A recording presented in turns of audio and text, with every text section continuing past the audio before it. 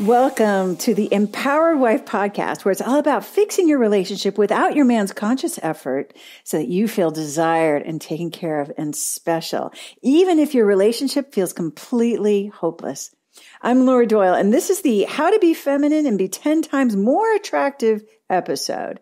Today I'm revealing what your mom and your grandma would have told you about what it means to be feminine if they had known. My guest, Angela's husband, was angry, controlling, and distant, and she was depressed and numb, dreading the prospect of living the rest of her life in such an unfulfilling marriage. She decided to conduct an experiment, and today her relaxed husband showers her with attention and gifts and help. She's going to explain what she did to make that happen. Then I'll be giving out the award for the worst relationship advice of the week. And this goes to a common suggestion you hear to make sure that you get treated well in a relationship. And it just backfires like crazy. All of that is coming up. But first, let's talk about how to be feminine and be 10 times more attractive. As a young adult, it made me angry when someone implied that men and women are different because that showed that they were prejudiced. I saw that as the old, unenlightened thinking. I smugly believed that I knew the truth. Everyone is the same regardless of gender. I knew how to be assertive, speak up for my rights, and correct others for their backward thinking. I was charming like that. But I didn't know how to be feminine or even recognize my own astonishing power as a woman. And looking back, I feel sad for that clueless younger version of me. I was so hopelessly ignorant of the valuable contributions that I bring to my relationship and to the world as a woman that I tried to avoid seeming feminine. I equated femininity with weakness, and I was afraid that my gifts were repulsive. And now that I know what it looks like to be feminine, I find there's such ease and dignity and comfort in it. What a relief. I feel good in my skin when I'm my feminine self. And when I say feminine, I don't mean overtly sexual or manipulative. I'm talking about honoring my feminine spirit, which I will explain. Learning how to be feminine rocked my relationship and my world in the best way I can imagine. There are no clothes, makeup, or plastic surgery that can come close to having the irresistible magnetism of the feminine spirit in a woman. Tapping into your own feminine gifts, it makes you 10 times more attractive. Here is how. Receptivity is the essence of femininity. So I'm going to repeat that just to make sure you don't miss it because this is the key to blowing wide open the whole mystery of how to be feminine.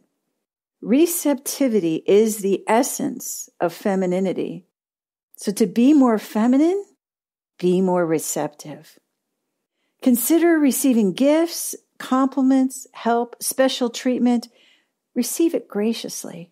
And so that means if your husband says that you look cute when you have bed hair, you say, thank you, and nothing else. There's no need to explain that your hair is a mess. He has eyes too, and he doesn't seem to think that matters. So just receive. It means if a coworker says, do you want some help moving the chairs back? And you feel guilty because you know it's your responsibility. You smile and say only, thank you. Receiving graciously also means that if someone, your man, a friend, a coworker, offers you a present, you receive that too. Hannah decided to activate her feminine gifts when her new boyfriend, Sam, offered to repair her dilapidated car at his shop. She agreed, even though she was afraid that she would owe him something in return. He also wanted her to drive his expensive luxury car while her car was being worked on. And to make it even more uncomfortable for Hannah, he put new tires on her car for free. And it was all Hannah could do to let him give her so much. She was nervous because she wasn't used to such generosity, but she was determined to experiment with being feminine by being receptive. Instead of demanding something in return, Sam was happy and proud that he had been able to help her so much. He seemed intent to find his next mission in service of bettering her life so he could make her beam with happiness again. So she got to feel special and have a roadworthy car, and he got to feel like her hero. Win win. Now imagine if she had said, Oh, you don't have to do that, and missed the chance to receive. She would have cheated herself out of that special treatment he wanted to give her. And he would have missed out on feeling proud and heroic. Lose, lose. So if you think of your body as a metaphor, when it comes to sex, you are built to receive. So is your spirit. Women are built to receive. Men are fundamentally attracted to the feminine. So the more receptive you are, the more feminine you will be. And the more feminine you are, the more attractive you will be. But it's not always easy. It wasn't for me at first. I found it nearly impossible to be receptive at times. So I rejected lots of gifts and compliments and help and special treatment. I always had my reasons. I thought I would owe a debt. But that's not possible. By definition, gifts are free. Same with compliments, same with offers to help. Sometimes I was trying to prove that I could pull my own weight. Other times I had another agenda. I didn't want my husband to buy me flowers because it's a waste of money. I wanted to save money. Or I felt undeserving, if I'm honest, and vulnerable. But each time I rejected what was offered to make my life easier and more pleasant, I missed a chance to feel special to get that special treatment. I missed the chance to feel intimate with the person who was trying to lighten my load or delight me, especially my husband. And poor receiving made me less attractive. When my husband discovered he couldn't make my life sweeter and easier with his efforts because I rejected them for whatever reason, the intimacy suffered. Today, my priority is to have the intimacy, to choose to be feminine above my other silly reasons for not receiving. I have good receiving muscles now. I've been practicing.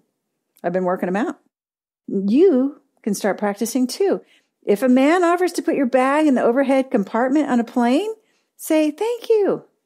If the bagger at the grocery store offers to help you out to the car, consider saying thank you. If your husband offers to change the comforter cover and you are afraid he's going to put it on sideways, just say thank you. If he says you're beautiful on a day when you don't feel beautiful, accept his point of view and honor your feminine spirit by saying only thank you. There's nothing more feminine than knowing you deserve to be admired, helped, adored. If you're wondering how to get started with fixing your relationship and making it shiny again, then you need a roadmap. Get six simple steps to follow that will set your relationship up for success. Discover three common mistakes that wives make trying to fix their relationship that just make things worse when you download my free Adored Wife Roadmap. You can do that at getcherished.com. Go to getcherished.com now to get your roadmap in minutes. My guest Angela's husband was angry, controlling, and distant, and she was depressed and numb, dreading the prospect of living the rest of her life in such an unfulfilling marriage. She decided to conduct an experiment, and today her relaxed husband showers her with attention, gifts, and help. She's going to explain what she did to make that happen. Angela, welcome to the Empowered Wife podcast. Thank you. Thanks, Laura. Thanks for having me yeah, I'm excited for everyone to hear your story. So, take us back to the battle days. What was it like in your relationship? Um, it was very hostile, and um, I never felt like I could get my point of view across to my husband. And um, yeah, we had quite a um, yeah quite an argumentative relationship, and I just didn't realize I didn't know why. And um, so it was very frustrating for me and very depressing. And like you say, um, I was just, I wasn't the divorcing type. So I was sort of resigned to uh, living in a miserable marriage for the rest of my life. So, um, yeah, and that, that was very sad uh, and depressing for me. Yeah. Yeah. And so, what kinds of things had you done to try to fix this?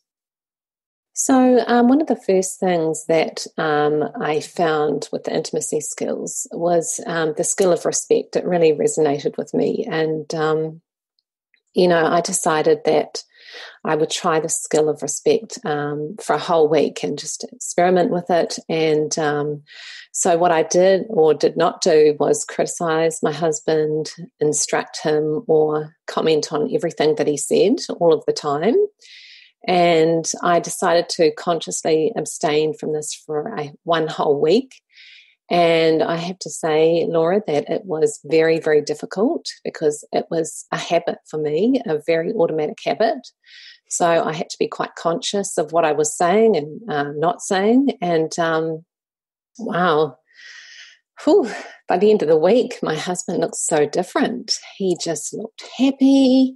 He looked relaxed. We were laughing in the kitchen. We were having some fun together. And um, yeah, I was I was really shocked, Laura, because I was just like, wow, my critical words have just, you know, it was me that was um, kind of ruining our marriage. And um, wow, it's just great to see him happy, and I felt so much more happy. And um, and I just realised that nobody had ever taught me how to be respectful um, in my relationship, and it was quite an epiphany for me, and um, uh, the start of a new beginning in our relationship.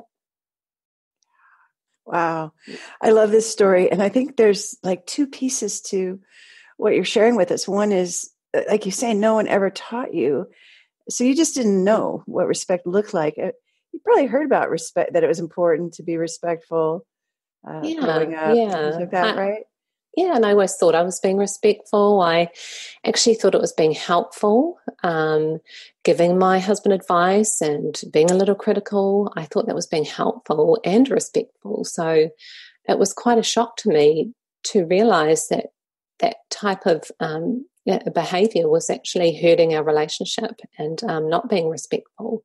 So it was like, uh, yes, pe- like people had said, you should be respectful in your marriage, but it was like a blind spot to me how to actually be respectful. So um, it was, yeah, like it was like an epiphany, and um, it just it was so revelationary, you know. Uh, it just gave me a lot of power to know that I could turn my relationship around by starting to practice that skill of respect. Wow.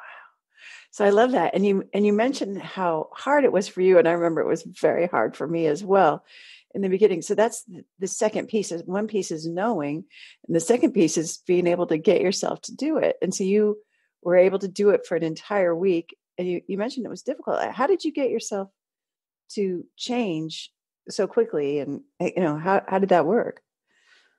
Well, my relationship was in such a bad state and I was in such pain. Um, like I had to do something. And um, so I just uh, just became very conscious of um, yeah, I just I I kind of like I had to do it because I had to do something.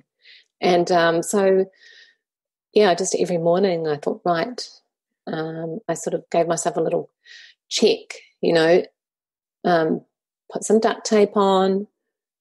If your husband annoys you in any kind of way, just don't say anything. Just put that duct tape on. And that's what I kept saying to myself all day and um, all through those days. And um, yeah, like I say, it was really difficult to do and I had to be conscious. And there were so many times when I wanted to say something.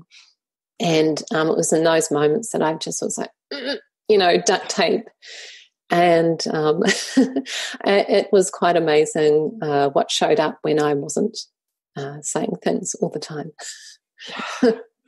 so, was there a moment where you thought, "Well, this is this is really working"? Ah, yeah. Well, um, you know, after me sort of noticing that I'd that my husband was looking a lot more relaxed and happy. Um, uh, with me doing this skill, and he didn't know that I was doing the skills. He didn't know I'd read this book. And at the end of the week, we went to my husband's, uh, sorry, my son's cricket uh, photos. Um, my family and I just went along, and and then my husband, I overheard um, one of the other fathers saying to my husband, um, "Mike, what happened to you? It looks like you've been to Fiji for a week," and implying that he'd gone on, been on holiday for a week. And I thought, wow, this is really working. And um, I've got to do something about these skills. I've got to start practicing them um, continuously. So, yeah.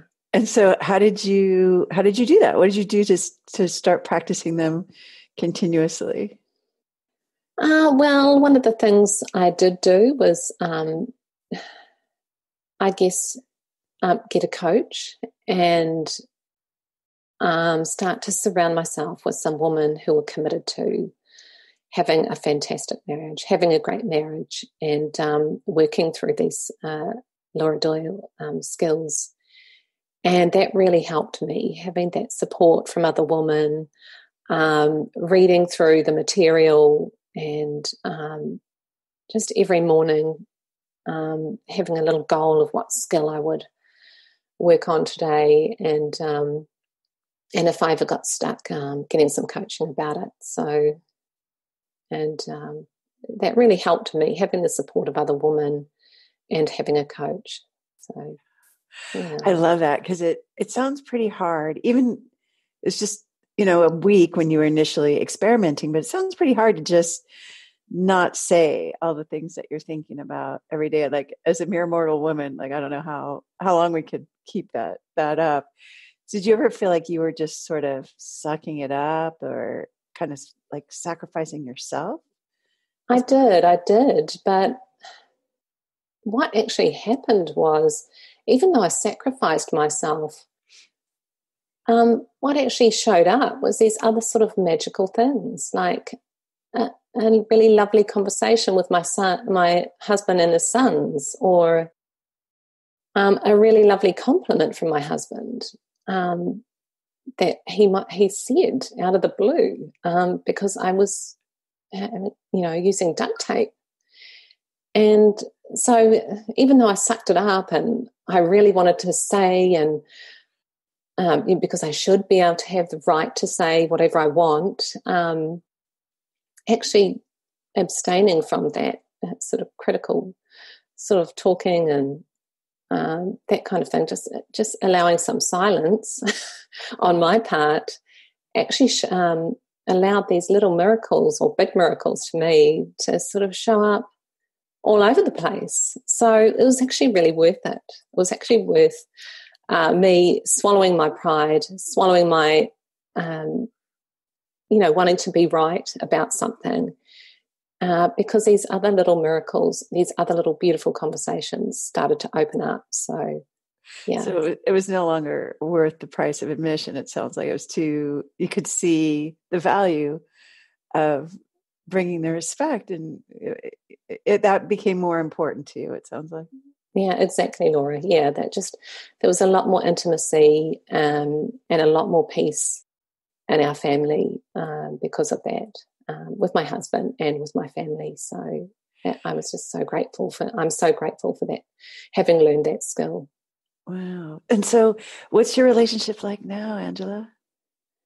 Uh, our relationship now is just very more romantic, and um, we do a lot more things together. My husband shares with me a lot more about his um, his feelings, and um, that never really happened in the past. I apologize a lot more if I slip up, and I hear him apologizing too, which was something that never happened in the past. And we just generally generally have a lot more love and peace and intimacy in our marriage, and I feel so so happy. And um, now that I'm the person that can create that beautiful relationship, and I don't have to expect or blame my husband anymore. I know that I'm the one that can um, create this beautiful relationship, and that gives me a lot of happiness and a lot of power. Yeah, I love that. So, um, what what would you say to yourself if you could go back in time and and talk to the Angela that didn't realize she just didn't know that she oh, was causing strife in her marriage? Mm.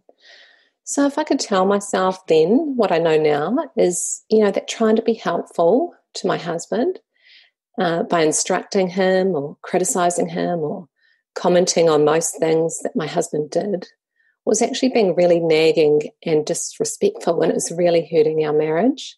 And um, I would just try the best that I could to not do that. And is your husband still uh, controlling and angry um, from time to time, but that just um, because I um, just duct tape.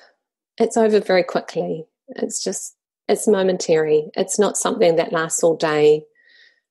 Um, and um, yeah, it's just because I know he's he's a mere mortal human being, just like myself.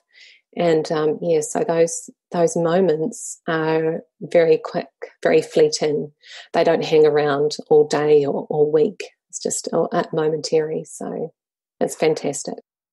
And so this was so uh, life changing for you. You actually decided to take your studies further. Yes, it was so life changing. I mean, uh, for me, my marriage was so important. And for so many years, I thought I was a failure with my marriage. It just, I felt isolated. Um, I felt lonely.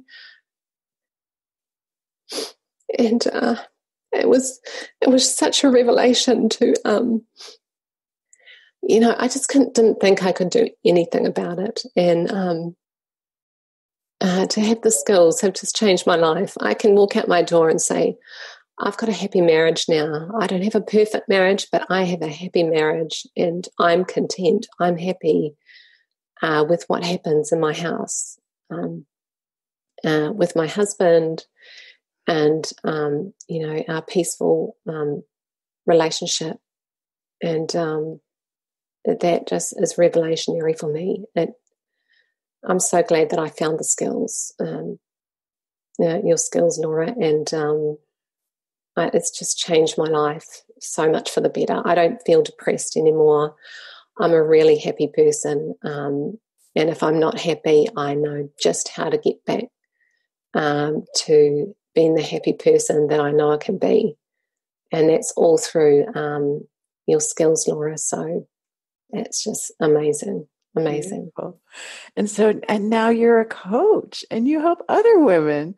I do. I do. And I just, yeah, I love supporting women in their, um, you know, wanting to have the relationship that of their dreams. And, um, and I really um, love doing that. So, yeah. So give us a tip. So if there's a woman, there's a woman listening who's also feeling depressed and maybe that there's nothing she can do to fix her marriage and that it's going to be a long life what's your what's your tip for her well i'd say um, have a look at um, laura's book and um, give us a call uh, have a talk and see what we can um, we can um, do for you. And um, yeah, I, I, just I really recommend having a look at these skills um, because, as I say, they transform my marriage, they transform me, and um, uh, that's what I really recommend. So if it's a yeah. fit for them. It almost sounds like a moral imperative for you to be able to share this because of the difference it's made for you. And I just love that. I mean, these are these are difficult things to talk about and share about, and yet you're very uh, forthcoming and authentic with us. And what, why is that important to you, Angela? Why would you do that? Um, well, if I could help, you know, help one woman or one marriage, uh, you know, help one woman who may be hurting out there or stuck or just feeling like they're a failure in their marriage, if I could help one woman experience happiness, um, a sense of empowerment in that area, then um, I just would love to do that. I would love to have women, if they wish, transform their marriage like I've been able to do. So that's why I be a coach. So inspiring, Angela. Very moving. Thank you so much for your your honesty with us, your vulnerability, your courage, and sharing your story. It's just beautiful. You're welcome, Laura. Thank you. If you're wondering how to get started with fixing your relationship and making it shiny again, then you need a roadmap. Get six simple steps to follow that will set your relationship up for success. Discover three common mistakes that wives make trying to fix their relationship that just make things worse when you download my free Adored Wife Roadmap. You can do that at getcherished.com.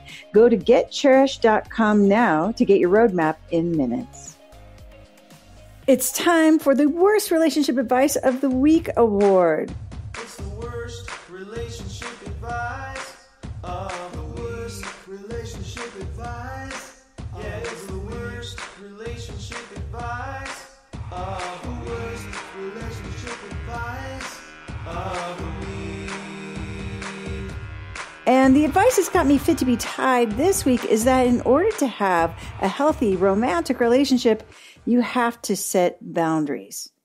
Just like a country with barbed wire fences and men standing as guards with guns. The problem is that boundaries only seem like a good idea when you're feeling hurt and angry with your man. And at that point, the boundaries come out like, fine, you can make your own dinner then. Or boundaries are about setting up the rules forever and forever. Like from now on, I will not be including your pants when I do the laundry because you left a pen in your pocket. In other words, they're not so much about saying, here's where I end and you begin. They're more like not so subtle ways to tell him he should go to hell. Those boundaries are not that great for intimacy, in my experience. That kind of boundary will leave you lonely. As a mere mortal woman, you're going to have limits to your energy, and it's always a good idea to acknowledge those limits in a dignified way but that can feel vulnerable. Acknowledging you're at your limit on energy or patience, as in, I can't make dinner, can be very conducive to intimacy.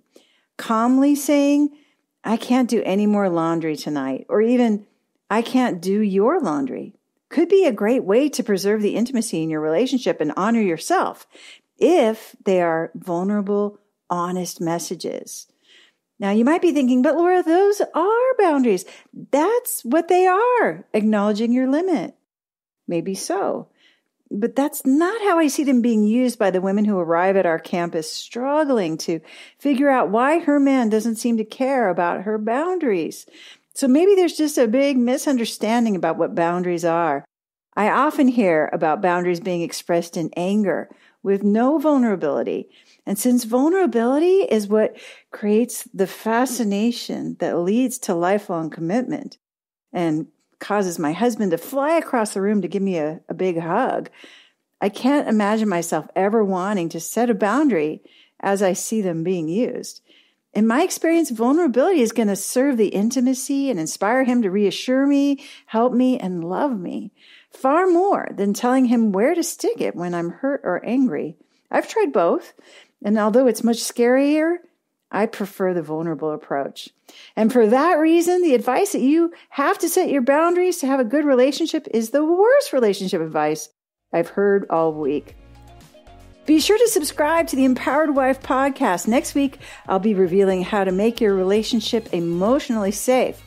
And it is so important to have fun. So today's fun fact is that when I'm a brat, my hilarious husband John says, I know a good book you should read. He means the one I wrote.